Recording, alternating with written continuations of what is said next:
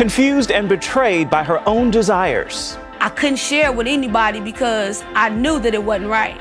I knew the girls are supposed to like boys. A young girl turns her back on God. And I just felt like, why me? Then I really despised God. See what happens when a mother refuses to stop praying. And I looked. So, oh, she is so beautiful. On today's 700 Club Interactive. And good morning. Welcome to the show. Here's a look at my top five for this week from Studio 5. At number five. So I'm gonna say that again, and I'm talking to people that's all the way in the back with a lot of space around them. They in the lawn. Chicago! Chicago wraps its annual Lollapalooza Music Festival. And the Windy City's own Chance the Rapper is among the biggest highlights. One, two, one, two. Chance joined Francis and the Lights for May I Have This Dance and even performed the famous dance number. May I have this dance?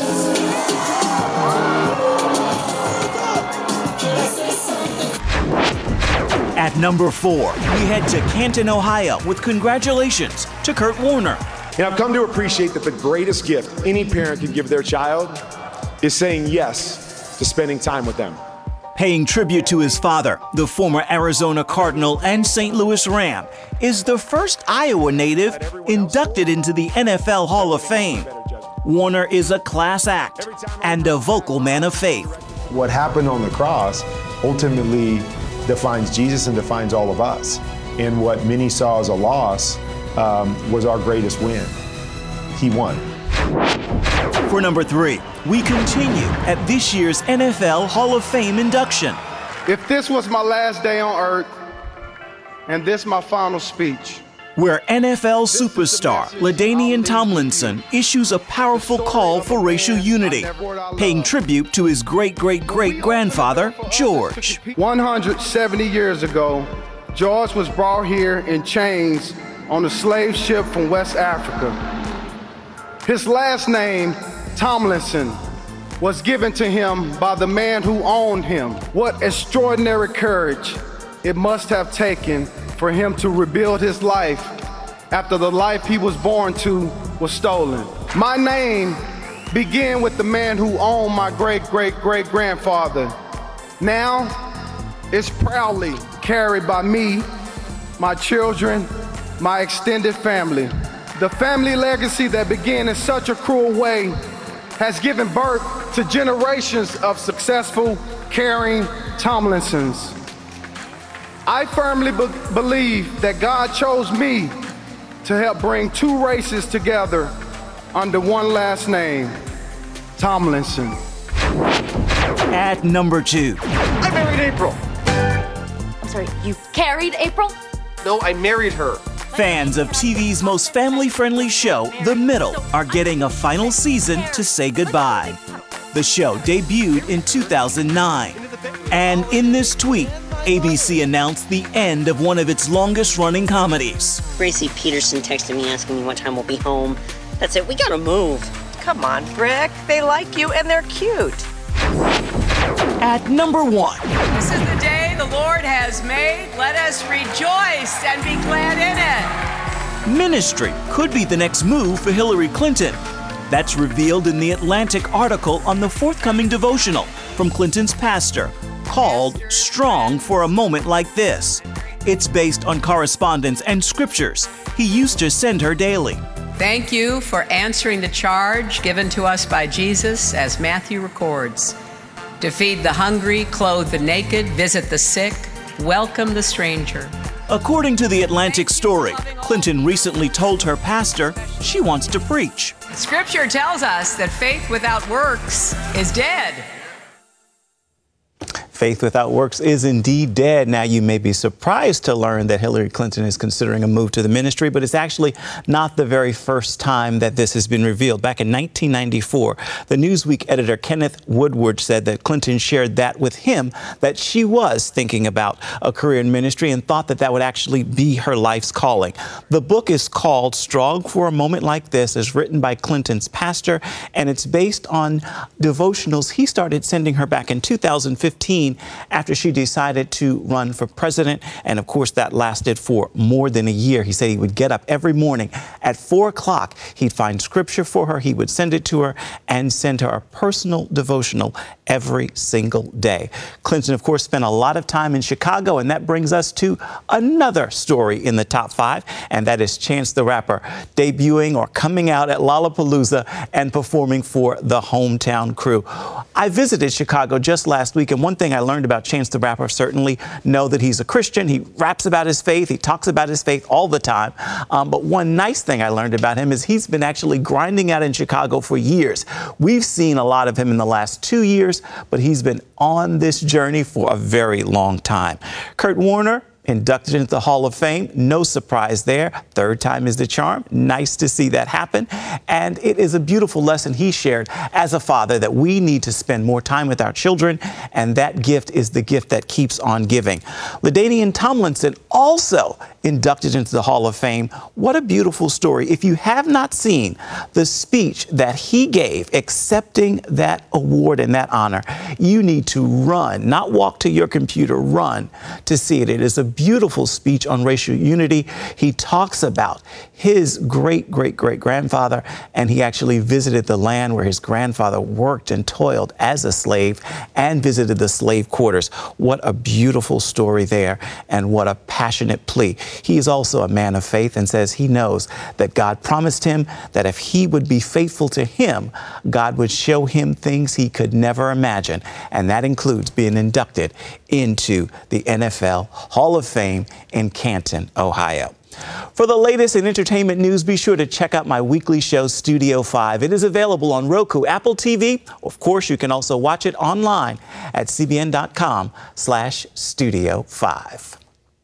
Up next, the man who took on the National Football League and brought awareness to a life-changing disease. You'll meet Dr. Bennet Omalu right after this break, so don't go away.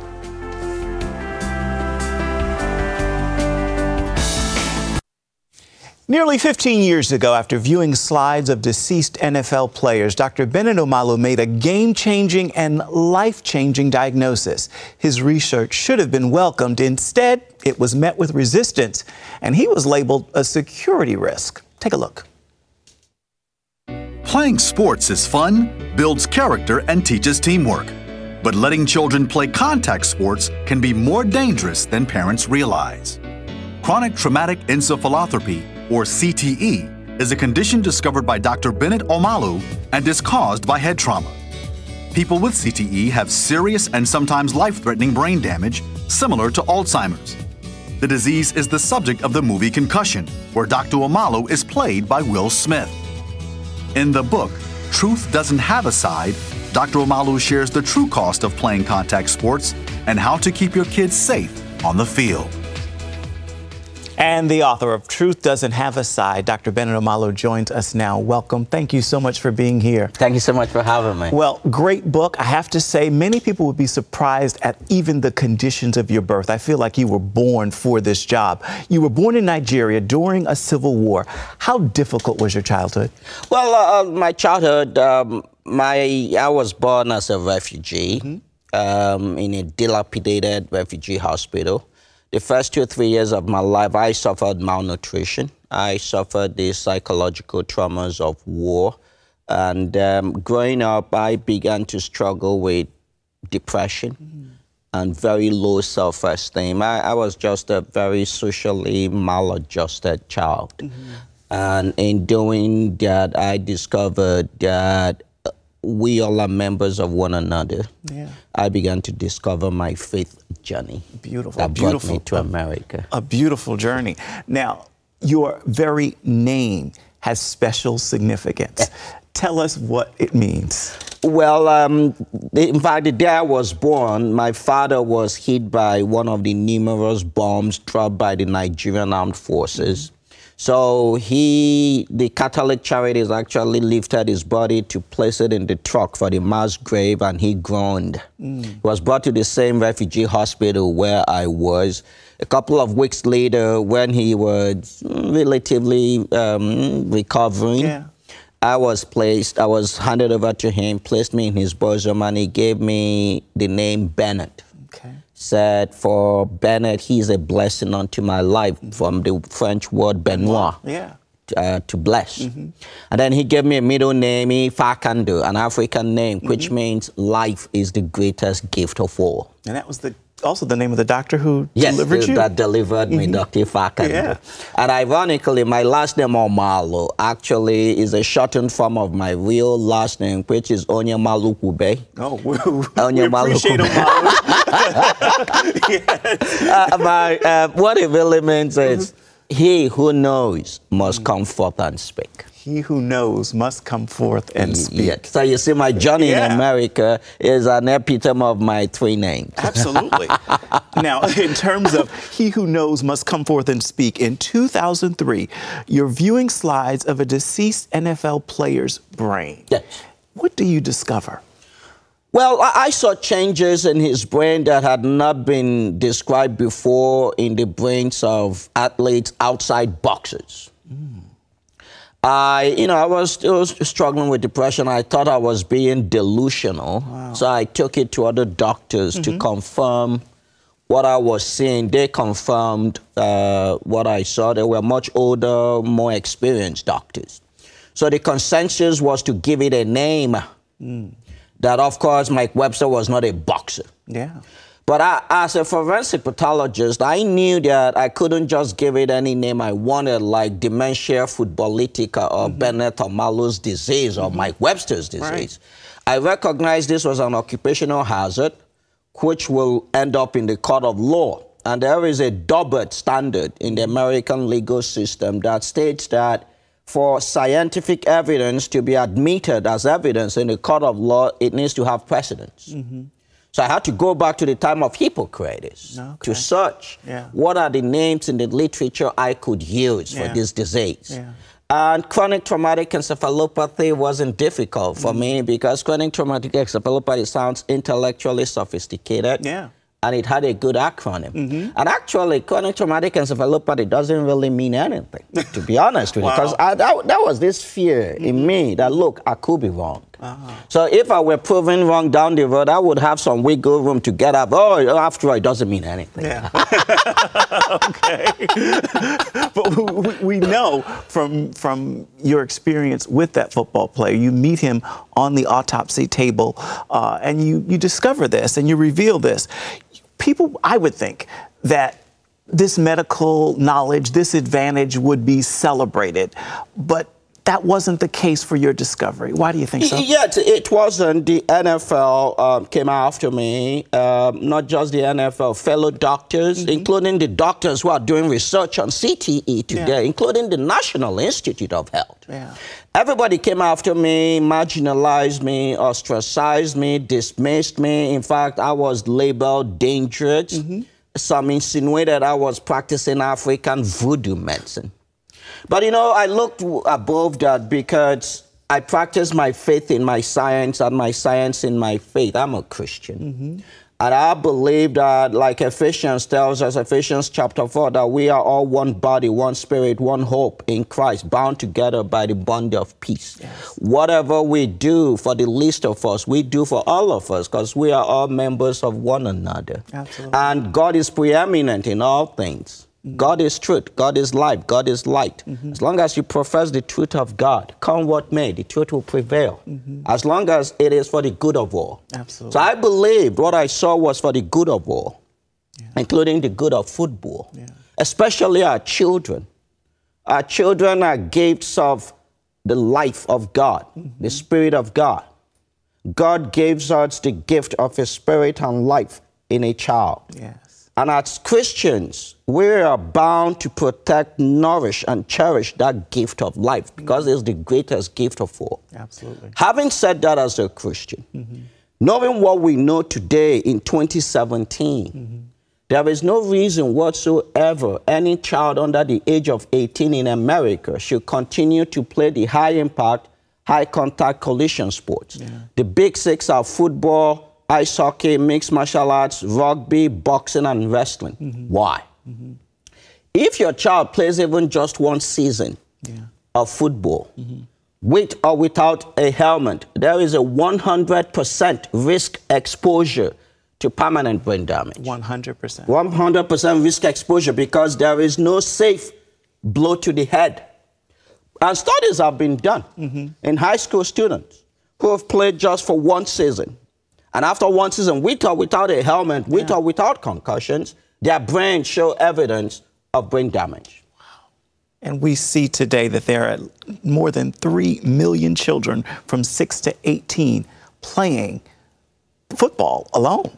Yes, children should play the non-contact, non-impact sports. There are mm-hmm. so many of them. You could mm-hmm. visit the International Olympic Committee, like I explained in my book. Mm-hmm. Non-contact sports like track and field, swimming, volleyball, basketball, um, badminton, table tennis, lawn tennis. Mm. You know, there was a study, if I may share this, mm-hmm. that came out of Sweden last year that shocked even me. Mm-hmm. They looked at 1.1 million children over 41 years. It shows that if you suffer at least one concussion in sports, you're more likely to die before the age of 42 for, through violent means. You have a two to four times increased risk of committing suicide.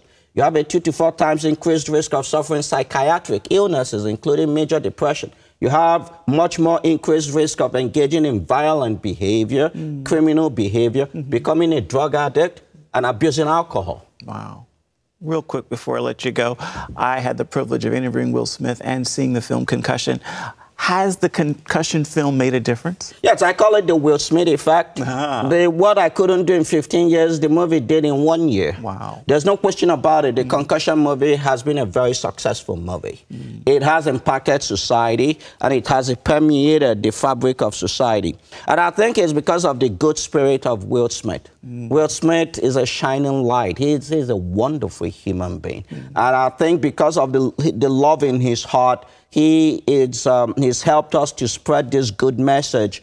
Let us please protect our children. No, indeed, indeed. I tell you, sitting here with you and having seen the film and interviewed him, he truly captured you. You had to have seen yourself on that screen. Yeah, my gesticulation.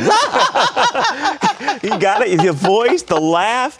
He, he even says did. that your laugh is a testament to what it means to be an American. He Yes. says that in the book. I, enjoyed reading that. Well, if you would like to know more from Dr. Bennet Omalu and the dangers of CTE and the scandalous cover up, his book is called Truth Doesn't Have a Side, and you can find it wherever books are sold. Dr. Omalu, thank you so Thank you much. so It much. was God a pleasure.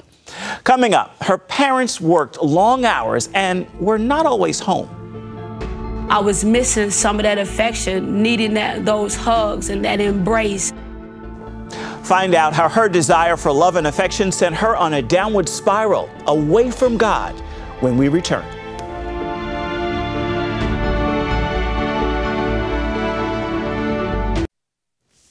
Every day, Sophia Ruffin breaks out her smartphone and busts political correctness. That's because Sophia has done something the social justice warriors say cannot be done. She's been delivered from a lesbian lifestyle. Give me, give me, give me some love. Let Sophia Ruffin hosts a daily live show on Facebook where thousands of viewers listen to her candidly share her story of how she was delivered from homosexuality. Many people say once gay, always gay, or they feel you can be delivered from everything but homosexuality. People can be free from homosexuality. God is a deliverer. Sophia's popularity as a minister of the gospel is a far cry from her lonely days growing up in Chicago. Sophia's mom worked long hours, and her dad often wasn't home. I was missing some of that affection, needing that those hugs and that embrace. In third grade, she developed a crush on a female teacher who affirmed her and encouraged her. She called me pretty. Come here, pretty girl. she started doing my hair, I would feel different. I couldn't share it with anybody because I knew that it wasn't right. I knew the girls are supposed to like boys. Sophia says early on she preferred hanging out with boys and playing basketball with them. She began to be bullied, and Sophia resorted to the only thing she knew how to do fight. When people would say, name, call me Dyke, Tomboy, or Butch, I would just outright fight them. Then, when Sophia was 10, something happened that only added to her confusion. She was molested, and the abuse lasted for four years. She never told anyone about it. I just felt like, why me? Then I really despised God because not only did I feel like I'm gay, I'm born gay, now I'm, you know, molested and violated. By now, Sophia's basketball skills were so advanced that when she went to high school, she made the varsity girls basketball team. And on the varsity team, we had some young ladies that was openly in the homosexual lifestyle. And I felt like, wow, I finally found people that are like me and they okay with it. Sophia began wearing baggy clothes and eventually threw away anything that connected her to feminine identity. I was ready to move into and be who I felt I was born to be, and that was a man. In her junior year, Sophia started having relationships with other girls. She went to college on a basketball scholarship where she fully embraced lesbianism and her identity as a man. By this time, her mother Doris knew. My heart was broken. It was broken to pieces. Sophia lived as a lesbian for 10 years. Her mom and many others prayed for her.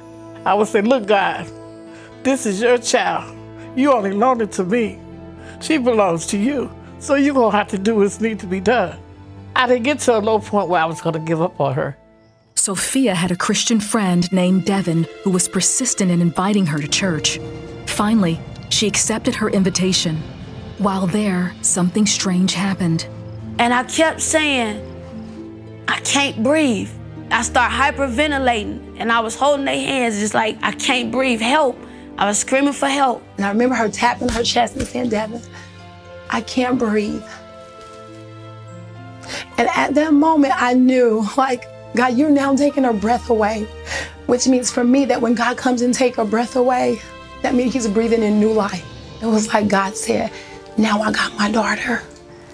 Sophia says she heard God telling her to go to the front of the church. And the whole time I'm talking back to him, I said, but please, because if you let me down and you don't protect me like you said you are, this is it. I'll never do this again. It won't be a second shot. And God kept saying, Trust me with your life. I got you. I wasn't just going to the altar to say the sinner's prayer, I was going to give my whole life to the God that apprehended me in the service with a power that was greater than me. When Sophia reached the front, the pastor, Apostle Tim Brinson, began to pray with her. I saw a person that was asking Father God, I want to change, but will you help me? Is this real? And I cried out and I lifted my hands and I said I was sorry.